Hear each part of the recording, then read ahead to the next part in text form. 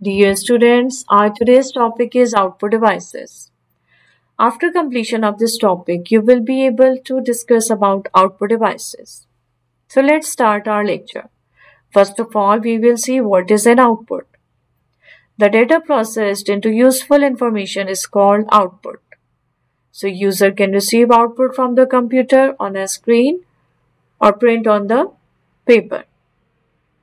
So students, a hardware component used to display information to the user is called output device. And some examples of output devices are printers, plotters, monitors, and so on. So let's discuss them.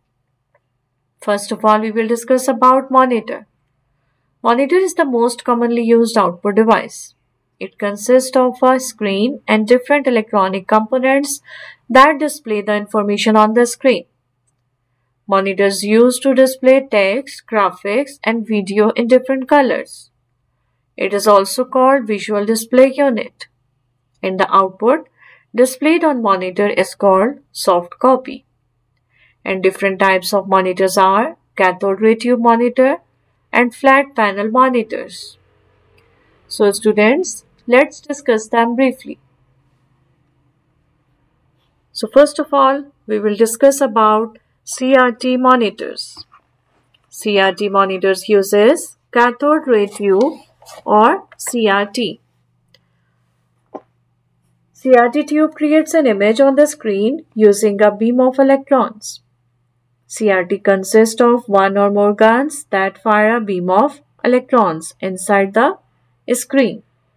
And CRT in color monitors consist of three guns and these guns generates red, green and blue or RGB colors.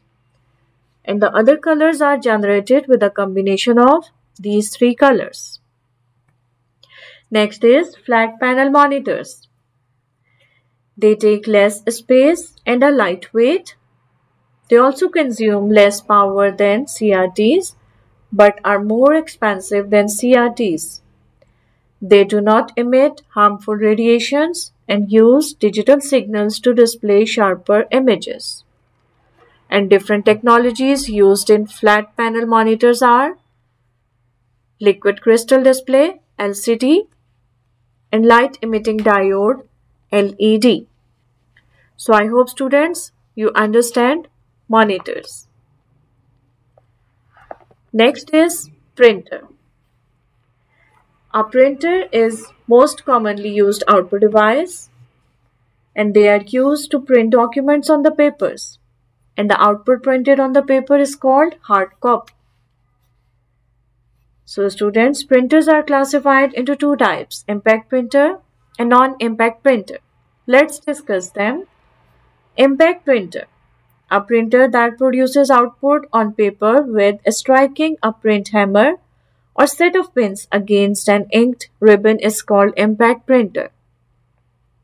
It works like a typewriter and it uses electromechanical technique to print output on the paper. And some characteristics of impact printer are the impact printers are slower in printing and produce low quality output. They also produce more noise during printing. And impact printer are less expensive. And the examples of impact printer are character printers such as dot matrix and daisy wheel and line printer such as chain printer or drum printer. Next is non-impact printer. Non-impact printer produces output on paper without striking the paper is called non-impact printer. Non-impact printers uses electrostatic inkjet, laser, and thermal technologies for printing.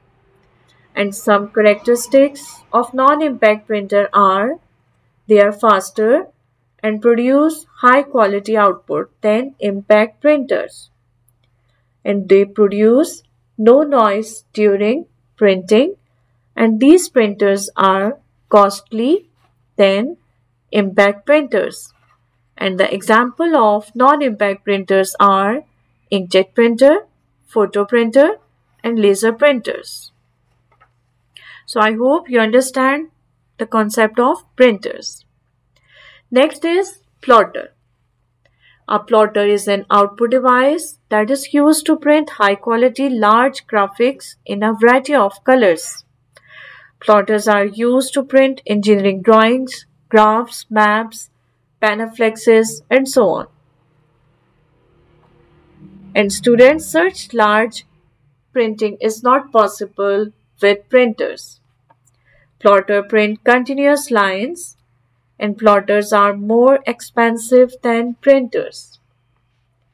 Different types of plotters are flatbed plotter and drum plotter.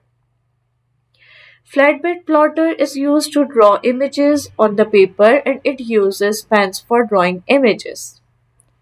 And drum plotter uses rotating drum or cylinder and the pens move to left and right as drum rotates it is used to print large panflexes. Next is speakers. A speaker is used to receive audio output from the computer and most personal computers and mobile devices have a small internal speaker. An external sound speaker can be attached to the computer or mobile device for high quality audio output and most of the computer users at home need a speaker to listen the music. Next is projector. Projector is an output device. It is also called optical device. When we use the word optical, then optic means light. So students, we use the light waves to get the output. So output is in the form of image that we project on a big screen. So that's why it is called projector. Projector is used to display information on large screen and the information may be printed on white screen or wall. They are used in colleges and universities for delivering lectures. So students, how to connect a projector with computer? A cable, video graphic adapter is used to connect projector with a computer. So I hope students you understand all the output devices. Thank you.